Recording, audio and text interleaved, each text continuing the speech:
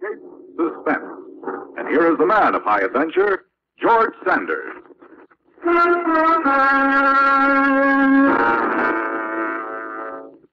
This is high adventure, the meeting place for that society of men and women who live dangerously. But what exactly does it mean to live dangerously? Sometimes a man can be more danger on a busy street than in facing a wild animal. Are you one of those people? Good. Come right in and sit yourself down. That's it. Comfortable. There's a better chair right over there, the one with the straps on it. That is, uh, if you are the nervous type. Oh, a thousand pardons. I did forget to introduce myself. I am John Sanders, and I serve as host for our high adventure meetings. Uh, what is high adventure, you ask? Suppose I say it is the bolt out of the blue of an existence. Perhaps I can better illustrate what I mean by an example. Take one man who let a beautiful woman guide him into greed. Then add another who was not a man uh, nor a beast. Some story. You're listening to George Sanders tell you of Who Walks Like a Man, another transcribed story of high adventure. A high adventure story. This one is called Who Walks Like a Man. Brad Orkoff, there was a time in your life when you had the idea that money wasn't everything. But you soon outgrew such a nonsensical idea, and after the war you decided to go after money and get as much of it as you could, no matter what the cost. So you decided that Africa might hold fortune for you. You purchased an army surplus amphib with the idea of flying cargo into the interior. It was just an idea you had.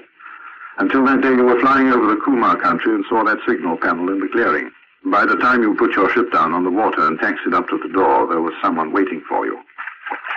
I just let the float go on the other side of the dock. That's got it. I was afraid you wouldn't come down. Well, I wouldn't have unless...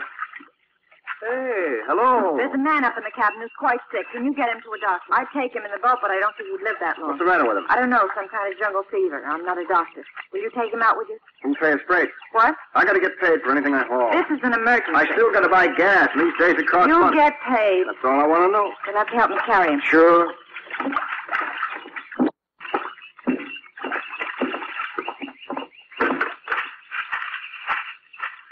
What made you lay out an aircraft signal? I saw you fly over this morning. Thought you might come back this way. You did. I see. Through the back door. Sure, baby.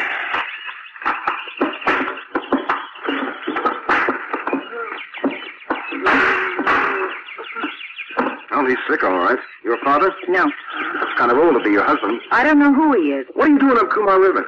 That's no concern now. All right.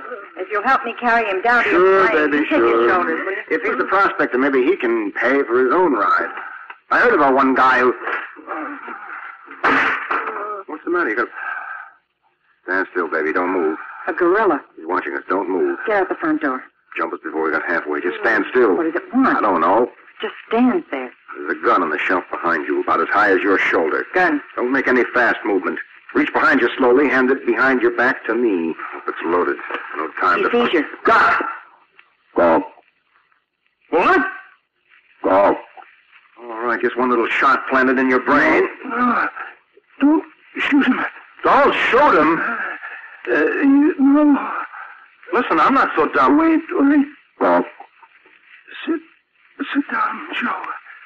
Sit down. They, they're friends. Friends. Yes, Joe.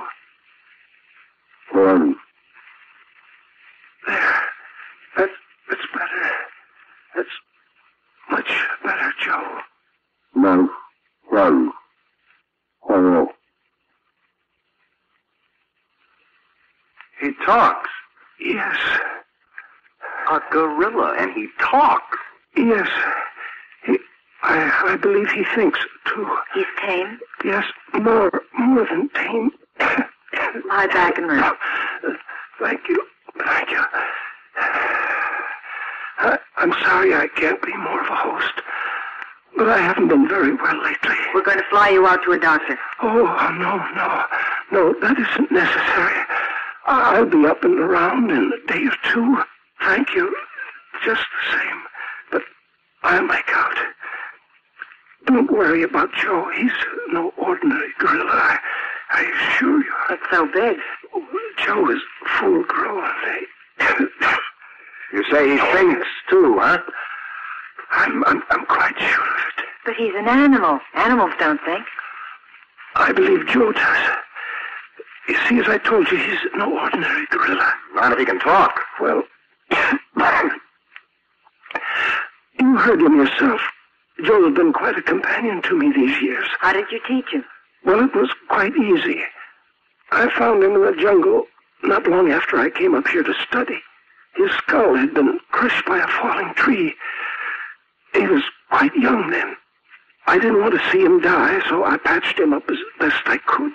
We believed that if the brain case were were larger so that the, the gorilla's brain would not be restricted in its growth, then then the gorilla's brain would enlarge enough for him to to become a thinking animal, exactly as exactly as is man. I I made his brain case large enough. When I inserted the silver plate, we built a skull. Joe is a friend, a very dear friend. Isn't that right, Joe? Well, Doc. Best friend I ever had. Excuse me.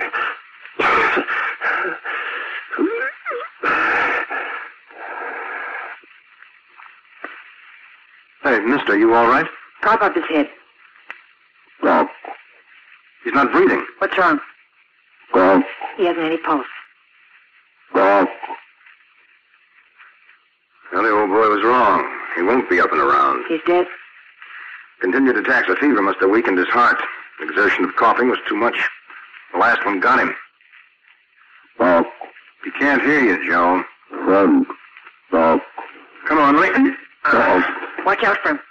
Get out the front door. It seems as if He's not playing. Come on. Doc.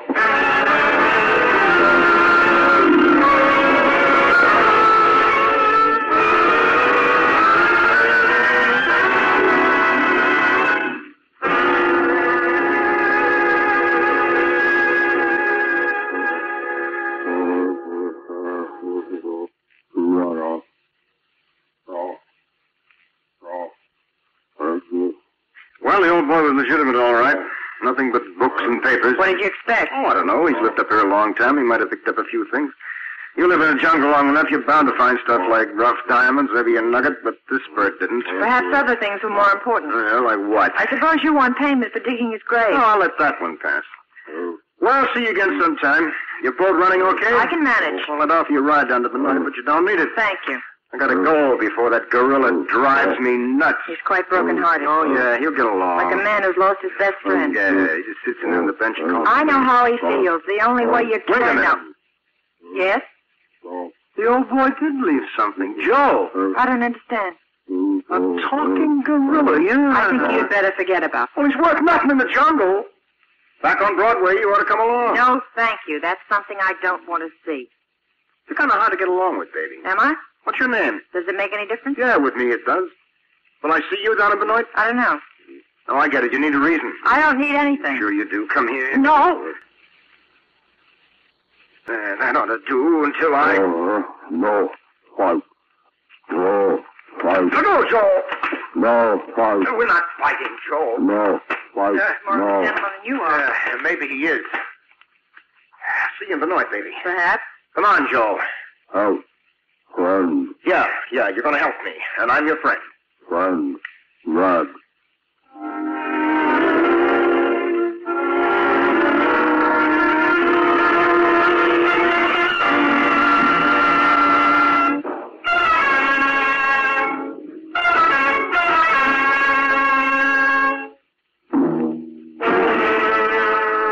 High Adventure. Brad Orkoff, you and your newfound friend Joe took off for the States. Joe got used to flying, even liked it after a while. You didn't see the girl in Benoit, just gassed up and took off again. You did have some trouble getting Joe through customs and that sort of thing, but after that, you got what you were after money, lots of it. It rolled in for you. Your friend Joe appeared with the circus, then on Broadway, and finally on radio. It was difficult for people to believe that Joe was real. That is, until he went into his iron bending act, Strong men paled and weak women fainted. So you went on making money, more money, and more money. You'd been at it for almost a year when things began to feel wrong. You came back to your hotel late one night. Uh, wrong key.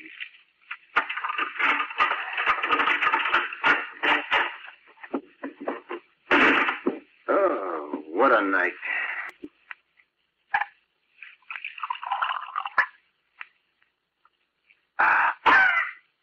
Ah. Jeez. Joe? Joe? Hello, Jack. What are you doing? Nothing.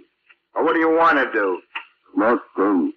If I get you the best hotel in the best city in the world and you don't want to do nothing. No. No, yeah, you got to get up early in the morning. A bunch of doctors are going to examine you again.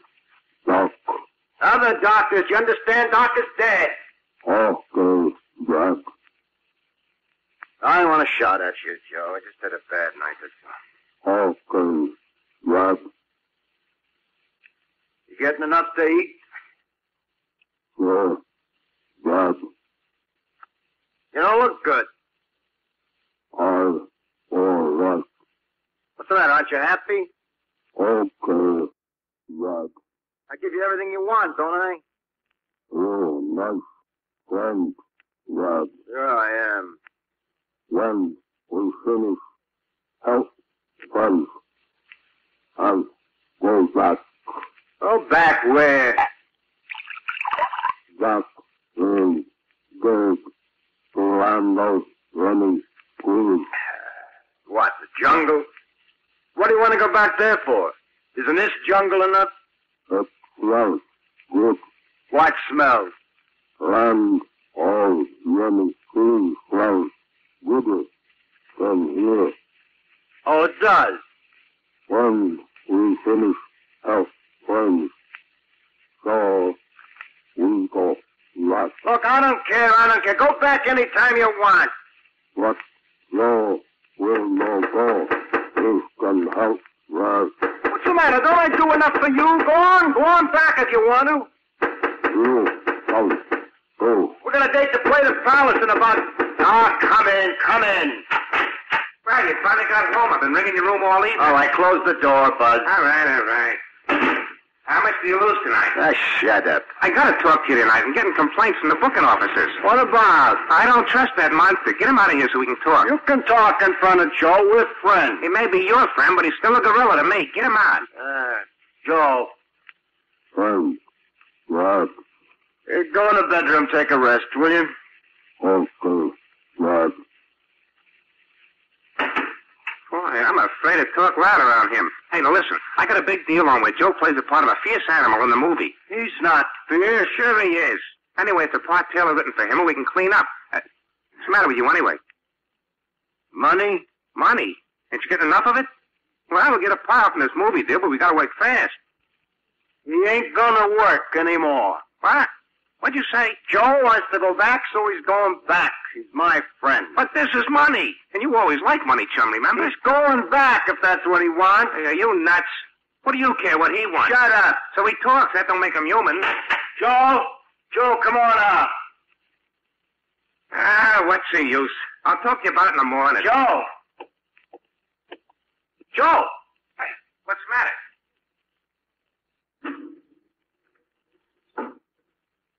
Gone. Out the window. What? He's loose? He wanted to go back. Gorilla loose in the city. Wild animal creates reign of terror. Hey, this is just the publicity we need. What a break. I'll call the papers.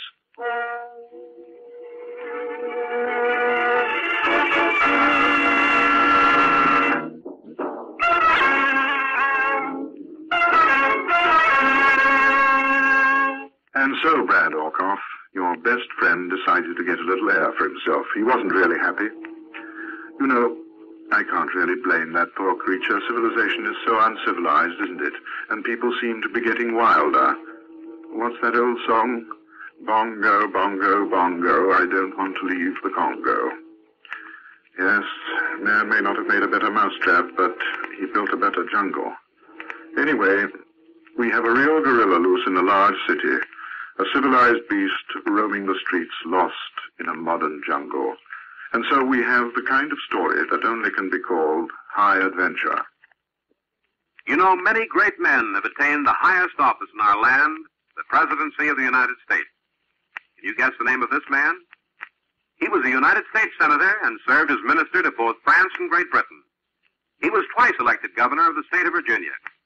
He served as Secretary of State and Secretary of War, and in 1816 became president. During his two terms, many important events took place, including the acquisition of Florida from Spain and the admission of Mississippi, Illinois, Alabama, Maine, and Missouri. You should have his name by now, but if you don't, here's an important clue.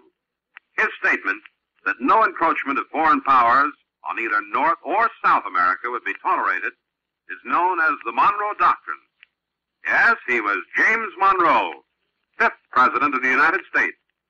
His life is part of your American heritage. The conclusion to Who Walks Like a Man. So, Brad Orkoff, you've lost your best friend. A strange one, but the only real friend you've ever had. You look out your hotel window and across the city, and you wonder where in that maze of streets and alleys can he be. Joe, Joe, who trusted you. Joe, who listened to you. Joe, your friend. And, Brad Orkoff, you began to wonder in your heart about what you had done to this animal, this almost human beast. And you began to wonder about your money and how much it was worth. And you worried, and you paced up and down in your room.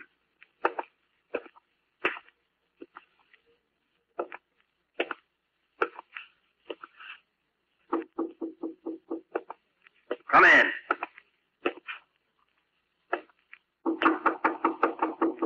I said come in. Now, sit down, Buzz, and don't start shooting off your mouth about it. You. Hello? How did you get here? By airliner. I've been here for some time. I'm a correspondent for several magazines here in the States, so why shouldn't I come back once in a while? What do you want? Thought I'd drop in, see if you remembered me. Say hello. All right, you did. Have you had any word If about... you came up here to say I told you so, then shut up and beat it. I'm sorry. Well, don't be. I'm not sorry for you. I'm sorry for Joe. Everyone in the city's ready to kill him. Will you shut up? So you write, huh? A little. That's what you were doing up in the Kumar. I was trying to find something to write about. Well, you found it. Yes, I did. But I haven't written it yet. What name do you write under? Maybe I read some of your stuff. My own name. Well, what is it? Constance Whalen. They call you Connie for short. Sometimes. I heard it somewhere. Strange nobody's found Joe. Oh, they found him. For two weeks they've been chasing him, shooting at him, running away from him. Been all over the paper. Yeah. You know what I'm going to do when I get Joe back? I'd like to know. I'm going to take him back to Benoit. Then I'm going to stake out some land and run a plantation. Yeah, run a plantation. I always thought about that when I was flying over the Kumar. Beautiful. And up there, grow anything. Not too hot, not too cold. I've got pictures of it. And it's going to be Joe's place. You know why? Because it's his money that's buying it. He earned it. You talk like he's human.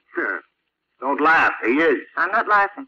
He's as human as you or me. Maybe more, I think, sometimes. Yeah. It was when we were flying back. I started to figure that way. He came out of the cabin and he sat in the co-pilot's seat and we talked. And then when we got here in the States, he'd sit and listen when I'd talk, like he agreed with all my gripes, felt good when I felt good, tried to like what I liked. I was always alone ever since I was a kid.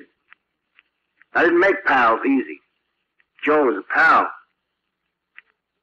You understand that? Yes. Yes, I do, Brad. Been the same way with women. Always I picked the wrong. Always I pick the women who like you as long as you got the dough in your pocket to show them a good time, and then after that, uh, sit still a minute. Yeah. Brad, Yeah, Buzz. they got Joe. What? Is he all right? They got him trapped in a warehouse over on West 21st. Cops all over the place. News photographers. What a story this is going to be. West 21st? They had Tommy guns, searchlights, just like the old gangster days. And Brad, Come on. We gotta get to him before they hurt him. Now you can write the finish of that story. And it's gonna be a good one.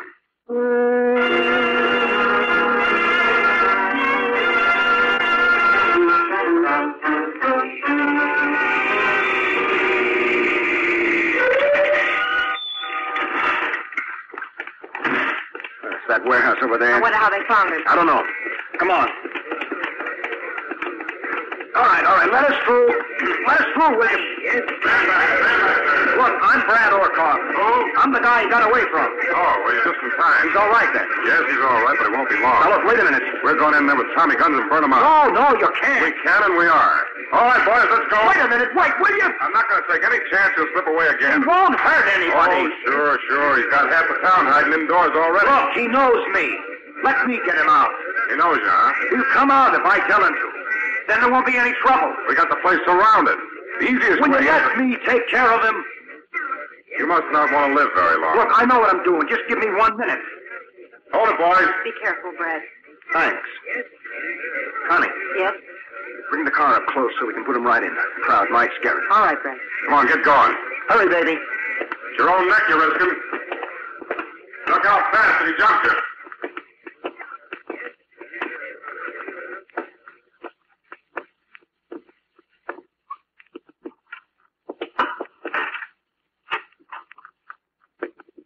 Joe?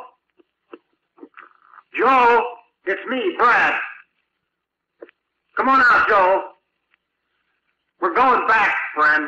Both of us. You hear? Back to the land of many trees. Joe!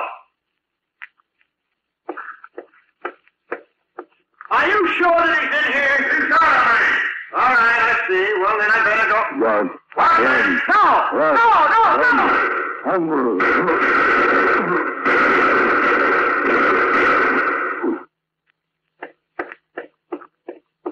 that's that. He won't scare anybody no more. What's the matter, buddy? Aren't you glad we saved your life? He was coming right at you with those big arms. He would have broke your neck with one swipe. He was a killer, all right. Yeah. Yeah.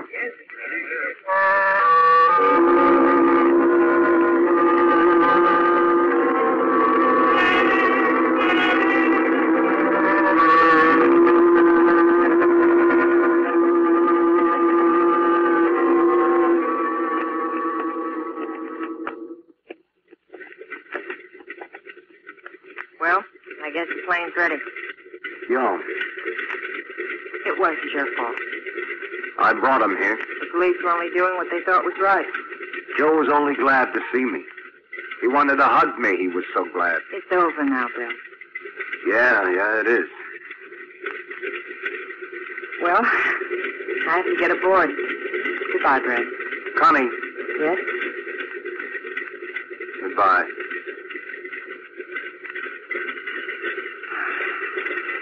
Should have kissed me like that before.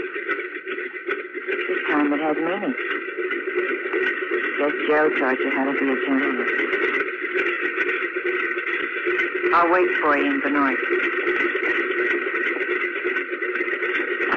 I'll be there.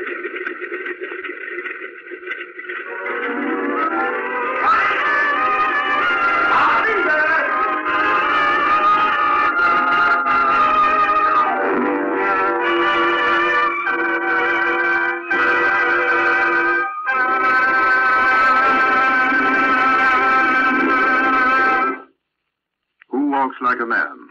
Another spine-tingling tale of high adventure. I might add this thought. If at some time or another you decide to make a monkey of yourself, give it careful thought. Your friends may notice the improvement. Well, these days a lot of us seem to be acting like animals. Are you up a tree? Very poor attempt at humor on my part, I must admit, but I shall never give up. Never.